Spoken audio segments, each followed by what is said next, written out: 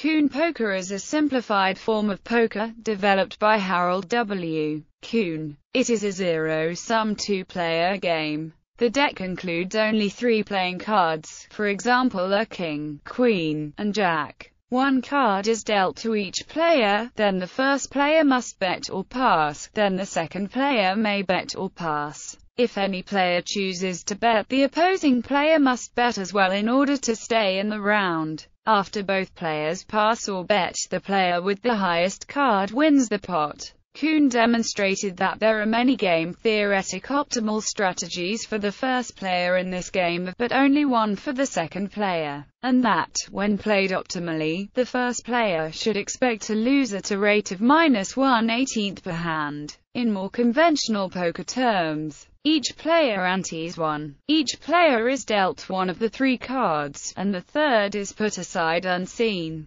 Player 1 can check or bet 1. If player 1 checks then player 2 can check or bet 1. If player 2 checks there is a showdown for the pot of 2. If player 2 bets then player 1 can fold or call. If player 1 folds then player 2 takes the pot of 3. If player 1 calls there is a showdown for the pot of 4. If player 1 bets then player 2 can fold or call. If player 2 folds then player 1 takes the pot of 3. If player 2 calls there is a showdown for the pot of 4.